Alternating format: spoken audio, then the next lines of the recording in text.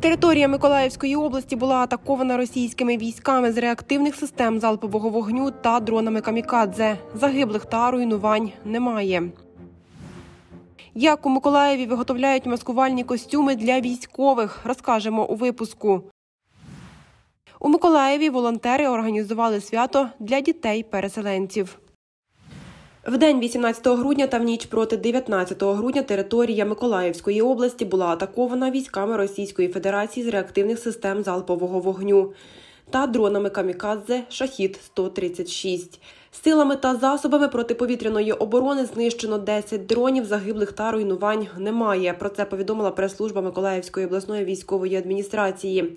У Миколаївському районі 18 грудня о 10.55 військові російської армії з реактивних систем залпового вогню обстріляли акваторію Очаківської громади.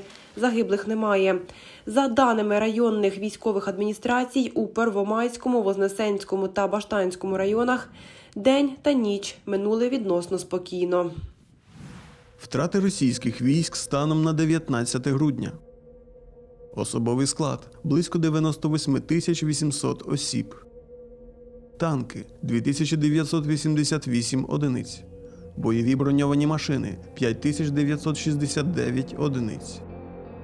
1953 артилерійських систем, 410 реактивних систем залпового вогню, 212 засобів протиповітряної оборони, 281 літак, 1657 безпілотних літальних апаратів, 264 гелікоптери, автомобільна техніка та автоцистерни 4592 одиниці, спеціальна техніка 175 одиниць, 16 кораблів та катерів. Збито 653 крилаті ракети. Слава ЗСУ!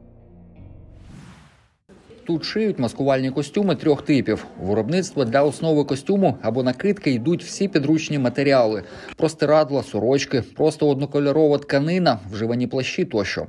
Наталя нав'язує білі стрічки на колишню штору. Це захист для снайпера. Створюється це руками, нарізаємо і плетемо руками. Всі допомагають і домашні, і додому. Ось так. Нам зараз заказано 4 таких вироби. Це допомагає сховатися. За кілька днів чотири таких маск-халати відправлять на позиції до бійців. Кожна в своєму розмірі. Кольори обирають також самі військові. Я ось вирахувала, що це через одну, так якби, ну, щоб воно закривало. Кожна, кожна вона буде тяжка, розумієте? Отак через одну вздовж і через одну поперек. Цей білий костюм складається з трьох елементів. И вот идут штаны достаточно удобные. Уже с передовой мы получили отзывы от ребят, что 10 из 10 баллов берет этот костюм, он очень удобен. Идет штаны, которые одеваются прямо на теплую, даже теплую одежду. И идет кофта, достаточно широкая, свободная. Також костюм комплектується білою балаклавою. Цей темний хухі, так волонтерки називають костюми типу кікімора. Також з трьох елементів, але замість балаклави тут шапка з тонованим прорізом для очей. В одному кольорі виготовляють і чохли на зброю. На відміну від білого хухі, маскувальні стрічки тут не нав'язуються, а нашиваються. Они шли, могут быть больше коричневого, меньше коричневого. Они могут быть и светлых оттенков, и более ярких оттенков. Необходимость нам заказывают ребята. И размеры также само нам уточняют, потому что смысл одевать, э, отсылать размер э, там 50 если хлопец 54 размера. Таких темних хухі на нуль відправили понад 300 комплектів. Процес виготовлення костюмів розділений на етапи: підбір матеріалу, кольору, нарізання смужок, їх кріплення на основу. В середньому виготовлення одного костюму або накидки триває тиждень. Олександр Гордієнко, Суспільне, Новини, Миколаїв. Біля пам'ятника покровителя міста Святого Миколая 19 грудня погасили новорічну марку Укрпошти. Малюнок на ній зображення сьогодення кожного українця, говорить Ігор Косоруков, керівник Миколаївської дирекції Укрпошта. Укрпошта сьогодні випускає е, чергову марку, військову марку. Це новорічна марка е, цього разу. Е, На неї зображена дуже така, скажімо, реальна ситуація сьогодення. Багатьох українців війна роз'єднала, на жаль, вона роз'єднала сім'ї. Тому те, що на цій марці це дівчина, яка зустрічає новий рік сама на самоті у себе вдома. А друга половинка цієї марки це її хлопець, який зараз боронить нашу країну від агресора. Відповідно зображення, тобто він на полі бою. Це відображення, на жаль, нашої дійсності, нашої реальності на сьогоднішній день. Саме ця марка символічна для міста, розповідає Єгор Косоруков, авторка малюнку, одинадцятикласниця з Миколаєва Валерія Михайлова. Цей художній твір саме дівчинки, яка мешканка міста Миколаїв. Її твір виграв конкурс всеукраїнський. За нього проголосувало 15,5 тисяч людей, які приймали участь у цьому конкурсі. Та саме її художній твір надрукований на цій марці. На жаль, авторка Валерія Михайлова наразі не в Миколаєві. Придбати новорічну марку прийшла Єлизавета. Дівчина розповідає, це символічна для миколаївців марка для подарунку. Я вирішила вперше купити цю марку. Я дуже хотіла, тому що це символічна марка міста Миколаєва.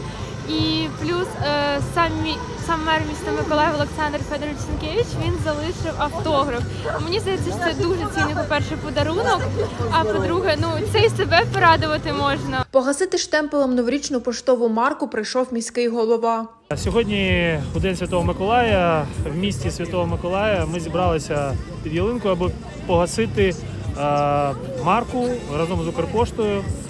Ця марка називається Переможного нового року. Всі ми сьогодні, я думаю, що не лише миколаївці, а всі українці мріють лише про одне здійснення одного бажання. Це щоб в Україні в 2023 році наступив мир. Я не лишаю собі ці марки. Е, подаруємо її в е, музей марок міста Миколаєва. Марка переможного нового року вийшла тиражем 820 тисяч примірників, що складається зі 120 тисяч листів. Номінальна вартість 12 гривень, розповідає Єгор Косоруков. Частину коштів направлять на підтримку збройних сил України. Єлизавета Кротик, Суспільне новини, Миколаїв.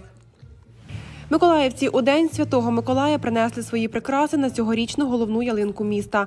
Першу іграшку повісив мер Олександр Сінкевич з написом Слава ЗСУ та закликав охочих долучитись до ініціативи. Під кінець дня ялинка у воєнному стилі заповнена різними іграшками, прикрасами ручної роботи, дитячими малюнками та оберегами. Пам'ятник Святому Миколаю у центрі міста обклали захисною спорудою, покрили маскувальною сіткою та ілюмінацією таким чином створивши мілітарі ялинку. Іграшку ми придбали в магазині. Звичайна дерев'яна іграшка, на якій написали побажання, щоб е, скоріш закінчилась війна. Тому ми з дітьми приїхали повісити на таку гарну ялинку. Ялинка дуже незвичайна, дуже незвичайна. І ми дуже задоволені. Ми повісили іграшку з дому. Минул, поза минулому році ми її купували. Ялинка, ну мені подобається. Звісно, вона відповідає е, сьогоденню і е, воєнному е, стану. На свято разом із племінником прийшла Ірина. Жінка говорить, маленький Євген дуже зрадів, що може побачити своїх однокласників. Дітки засумували, ми були в евакуації у місті Києві, виїжджали. От, тільки повернулися ось в грудні. Дитина дуже скучила за рідною школою. От, і ми дуже зраділи, коли нас запросили сюди. Подобалися танці. Танці? А подарунки тобі дарували? Так. Волонтери та організації разом із адміністрацією школи-інтернату організували свято до Дня Святого Миколая. Дітки отримали подарунки, солодощі, танці та ігри. Сьогодні День Святого Николая, поэтому на честь Дня Святого Николая в седьмом интернате для детей-переселенцев мы организовали общий праздник. Детей было практически больше 60 человек. Это в основном детки от двух с половиной лет до 14. А, Родителей не могу сказать, сколько было, но было очень много. В евакуаційному центрі більше місяця проживає Єлизавета з двома дітьми. Дівчина говорить, тікали з під обстрілів з Херсонщини. Зараз радіє, що її діти в безпеці. Дітям дуже необхідно, щоб вони трішки відволікалися, бо емоційно це дуже такий напружений час. Місяця тут. Ми самі з Херсонської області, е, Білозерський район, та зараз обстрілюють. На жаль, обстрілюють і дуже сильно. Тут ми відчуваємо себе більш-менш безпеці, і ми дуже раді, що нас тут прийняли. Більше сподобалося, що перевдягалися в костюми ці всі новорічні. І подарунки дуже сильно чекали також. А так діткам все сподобалось. Евакуаційний центр до повномасштабної війни був школою-інтернатом. Зараз діти навчаються дистанційно, а заклад приймає біженців з Херсонської та Миколаївської областей. На свято запросили і учеників школи, розповідає директорка Галина Макарова. школа, але водночас і евакуаційний центр. Якщо школа, ми працюємо дистанційно, а евакуаційний центр ми прийняли людей з Херсонського напрямку, дорослі, діти, є люди хворі, інваліди, і всі вони тут знайшли притулок і знайшли затишок. Це свято ніхто не відміняв. Тому для дітей сьогодні організовано свято. Миколая, діти, коли бачиш їхні посмішки, то розумієш, що все це не даремно. От. Тому намагаємося зробити так, щоб люди відчули хоч трішечки миру і злагоди в серці напередодні таких чарівних свят. Станом на 19 грудня в евакуаційному центрі проживає близько 30 дітей-переселенців різного віку. Серед них і хлопчик, якому лише два тижні, та підлітки до 18 років, розповідає Галина Макарова. Свято для них потрібне, аби відволікти від війни та подарувати приємні спогади, говорить директорка. Єлизавета Кротик, Суспільне новини, Миколаїв. Вогні ялинки, яскраві локації та заповнена зала. Цей захід восьмирічний Андрій запам'ятає надовго, каже його матір. Хлопець в категорії дітей з інклюзією показує отриманий подарунок. Майберт, сосна і сосни зроблено.